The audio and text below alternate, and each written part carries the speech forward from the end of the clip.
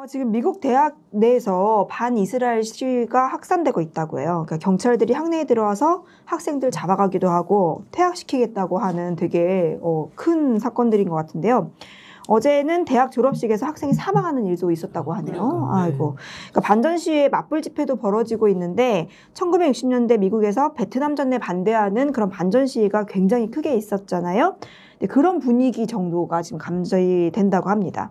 당시에 반전 시위가 히피 문화다, 뭐 무정부주의 같은 거다 이렇게 하면서 좀 번지면서 어 뭐 좋은 결과로 이어지진 않았었는데 미국에서 이러한 반전 시위가 일어나는 이유는 무엇이고요? 그 이런 반전 시위가 미국 사회 내에 어떤 영향을 좀 끼치게 될까요? 네, 지금의 반전 시위를 단순하게 그 뭐 미국의 대이스라엘 정책, 팔레스타인 중동 정책에 반대하는 시위 정도로 인식해서는 안 될 것 같습니다. 음. 왜냐하면 미국의 젊은 층, 젊은 세대 자체가 이 의식의 변화가 상당히 커요.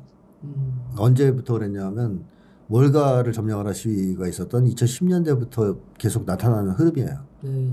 그 이후에 조사를 해보면 미국과 서부의 경우 젊은이들 중에 50% 이상, 많게는 60% 넘게까지, 그러니까 과반 이상이 사회주의를 지지하는 음. 여론조사 결과가 지금까지 꾸준히 나오고 있거든요. 네. 근데 물론 여기서 사회주의라고 하면 이제 정통 사회주의도 있고 북유럽식 사회주의까지 포함하는 게 음. 내용이에요. 근데 어쨌든 이 젊은이들이 신자유주의에 대해서 등을 돌리고 네, 있다는 겁니다. 진절머리가 나는 네, 거죠. 왜냐하면 자기들이 살아보니까 정말 이 체제는 아닌 것 같다. 음. 신자유주의의 가장 큰 피해자들은 청년들이잖아요. 그렇죠. 예, 청년들이 지금만큼 살기 힘든 데가 어디 있어요? 뭐 일자리도 없지, 각 개인적으로 고립돼 가지고 싸움이나 시키고 있지. 이러니까 청년들이 견디다 견디다 못해서 이제 등을 돌리기 시작한 거죠. 이거는 내 개인의 문제가 아니라 신자유 체제 문제다. 그럼 체제를 바꿔야 되지 않느냐. 그래서 어, 정치 성향을 바꾼 거죠. 그래서 미국에서는 계속 언론에서 많이 다뤄요. MZ 세대의 좌파화, 음. 뭐 진보화, 급진화 뭐 이런 식의 음. 주제들을 많이 다루는데 어, 상당한 흐름이 있었다는 거예요 그동안.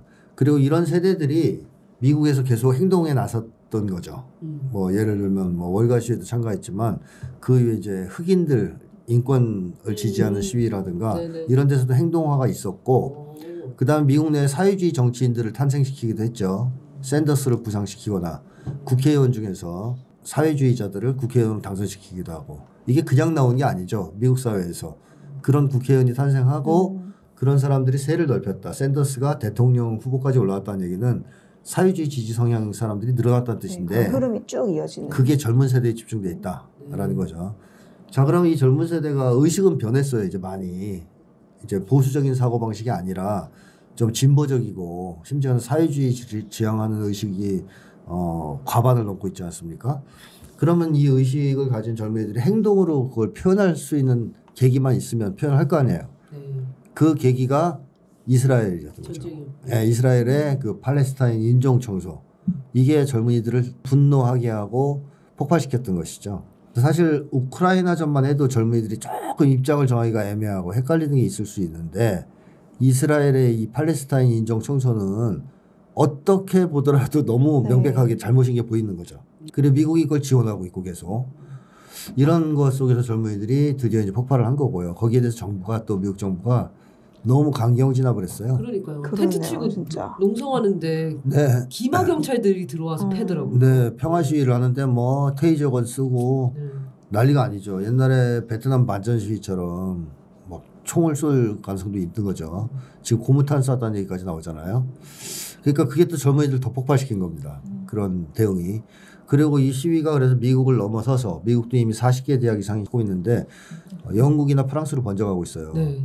그러니까 전 세계적으로 그런 흐름들이 형성되는 것은 과거에 68혁명 시기를 좀 연상시키기도 하죠. 음. 68혁명. 혁명이요? 예, 이제 프랑스, 독일 이런 등지에서 젊은이들이 좌파, 사회주의 경향을 보이면서 반체제 운동, 진보 운동 이런 것들 맹렬하게 벌렸던 것이 68 혁명 아닙니까? 그래서 서구 사회에서 6, 70년대를 진보의 시대라고 불러요. 음. 미국에서는 또 신자파라 그래가지고 반전 세대 음. 예, 이런 사람들이 막 데모하고 세계적인 흐름이었어요. 그 흐름을 타고 나온 게 비틀즈 같은 가수들이에요. 음. 그래서 비틀즈 보면 굉장히 노래 가사 좋거든요. 어, 진보적에서 와 어떻게 미국 자본주의 사회에서 이런 애들이 나왔지? 음. 왜냐하면 그 유럽 전반의 신자파 분위기, 어, 소- 소위 이제 진보 분위기 이런 것에 영향을 받았기 때문에 그 당시에는 그래도 락 그룹이나 뭐 이런 그룹 사운드들 보면 되게 진보적입니다. 그렇죠. 뭐 하- 헤비메탈도 그렇고. 네, 제가 밴드부를 압니다. 아, 밴드 출신이라 압니다. 아 그리고 래퍼 이런 사람들도 상당히 진보적이었어요. 흐름 전체가 저 전반적으로 그러다 신자유주의화 되면서 다 망해요. 문화도 문화도 저항 문화들이? 저항 문화도 다 무너지죠.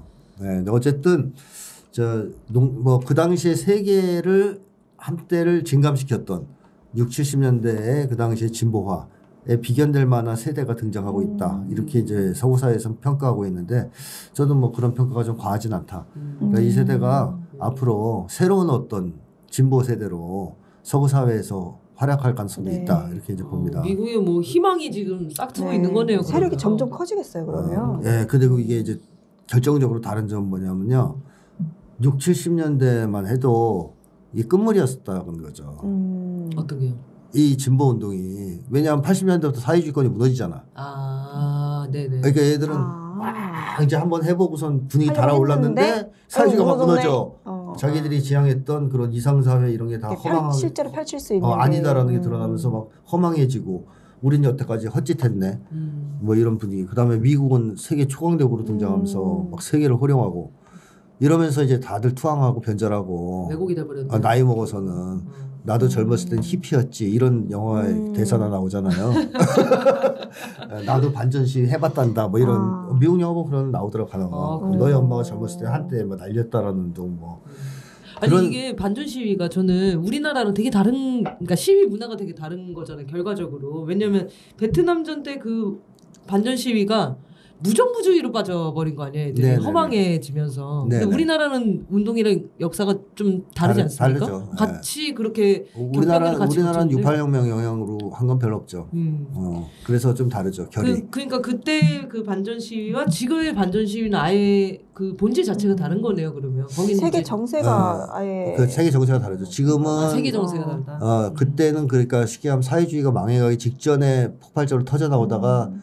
무너진 거고 한 대 맞으면서 무너진 네. 어, 맛이 간 거고 그리고 이념도 말씀하신 대로 무정부주의나 신좌파가 많았어요. 네. 그러니까 그 당시에 사이비 그 좌파 이론가들이 많았거든요. 음. 마르쿠제니 뭐 이런 애들 음. 그런 애들이 뭐 자유를 위한 섹스, freedom for sex 뭐 이런 거, 그러니까. 섹스 포 프리덤인가 하여튼 뭐 그런 걸 얘기해서 막 변질시켰다고. 네. 그런 이제 문제가 많았는데 지금은 차라리 그렇게까지의 변질은 심하지 않다 오히려 그런 생각이 좀 있고 그다음에 또 하나의 결정적 차이는 이 지금은 미국이 끝물일 때 지금 터지는 거예요 운동이 그러니까 미국이 최강의 국가로 부상하기 직전에 고조됐다가 한대 뜯어 맞는 게 아니고 네. 네. 지금 이게 터져 나오는 상황에서 미국은 빠른 속도로 무너지고 있어요 네.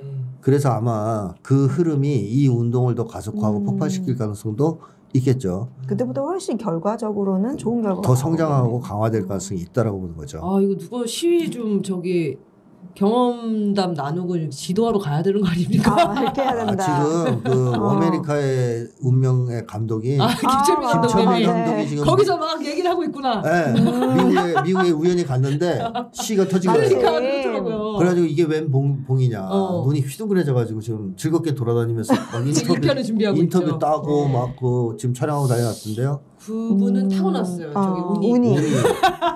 그러다가 이제 또 한국 오시면 여기 터질 거 아니야. 촉 어, 나 어, 운이. 타고났어. 그러니까 이거 아주 어쩔 수 그러니까 없구만. 윤석열을 빨리 탄핵하려면 김철민 감독 빨리 오라 그래야 돼. 네. 음, 혹시 외국에서 듣고 계신다면 김철민 씨를 꼭 찾으시라고 지금. 아, 미국에 지금 LA에서 거기 아. 대학가를 떠들고 계세요. 어, 그 그분이 다큐멘터리 가는 곳에 항쟁이 있어. 그래요. 네, 워메리카의 운명이라는 다큐멘터리를 네. 만드신 감독님인데 최근에 이제 2편을 만들기 위해서 미국에 가 있었는데 마침 가자마자 이, 이 시기 음. 이 시위들이 터지면서 계속 촬영을 하고 아유, 계시거든요. 표정이 너무 좋아요. 네. 표정이 너무 좋아. 그러니까 그런 음. 내용들을 취재하러 가신 거거든요. 음. 그러니까 미국 내에서는 진보 운동은 어떻게 움직이고 아, 있는가. 네, 네. 근데 마침 만나게 된 거죠. 네, 그 그렇죠. 적기에 나오는 다큐멘터리라 그런 것 같습니다. 음. 워메리카의 운명 많이 봐주시고요. 네. 네, 어쨌든 미국에서도 어, 이 새로운 분위기들이 싹 트는 게 음. 어, 이 이국에 있는 나라로서도 되게 응원하고 네. 싶은. 네. 자, 저 같은 항쟁에 여기서 한마디 어. 언급하고 싶은 건 전 세계적으로 젊은이들이 50에서 60% 이상 과반 이상이 소위 진보가 되고 있잖아요. 네. 네. 사회주의를 지지하는 쪽으로. 음, 음. 근데 한국은 사회주의를 지지하는 청년들이 몇 퍼센트나 되겠어요? 우리는 안 돼요. 더안 좋아지고. 있는 것 같아요. 우리는 어. 지지하는 사람 찾을 수가 없어. 없어요. 아, 그러니까 이게 세계적인 추세하고 너무 음, 떨어지잖아. 그러네. 예. 예를 들면 남미 같은 경우에는 이미 정권을 탄생시킬 정도가 된 거고요. Pink Tide라고 좌파 정권들이 다 들어섰잖아요. 음. 음, 그렇죠. 어, 그리고 뭐 사우디 같은 나라도 미국한테 벗어나고 있고 전 세계적으로 니제르와 아프리카에서 쫓아내고 미군 네. 이런 흐름에다가 서구 사회도 진보가 되고 있는데 한국의 젊은이들은 여전히 지금 시- 음. 어, 알바만 뛰고 있잖아요. 네, 오히려 보수화되고 있어요. 이게 네. 아, 보수는 아니에요. 보수는 아니고 생존에 이제 네, 생존의 찌- 불안에 떨고 있습니다. 찌들려 가지고 그렇죠. 이런 삶의 가치를 이제 그- 고민할 시간이 없. 그 결정적으로 거죠. 국가보안법이 커요. 그러니까요. 그러니까 국가보안법이 있고 한국의 색깔 공격, 색깔 공포증이 있기 때문에 젊은이들도 이 정도 살기 힘들면 음. 대안 모색을 해야 되거든요. 그렇죠. 야 이 체제는 문제가 있는 것 같아. 또 다른 체제 없어? 사회주의는 왜 어떤 체제야? 이런 게 있어야 되는데 한국 젊은이들 그쪽에 아예 관심 안 가지려고 위- 위험하거든. 그래서 한국은 어떻게 보면 전 세계적인 이 젊은 세대의 이 흐름과는 완전히 동떨어진 네. 어, 지금 흐름을 아, 보이고 있어요. 힙하지가 않네요. 예. 음, 그러네요. 아. 우리는 우리나라만 유일하겠네요. 거의 거의. 무풍지대인 거예요. 네. 젊은이들이 지금 이제 진보가 되지 않고 있는 무풍지대화가 한국이다 이렇게 볼 수 있죠.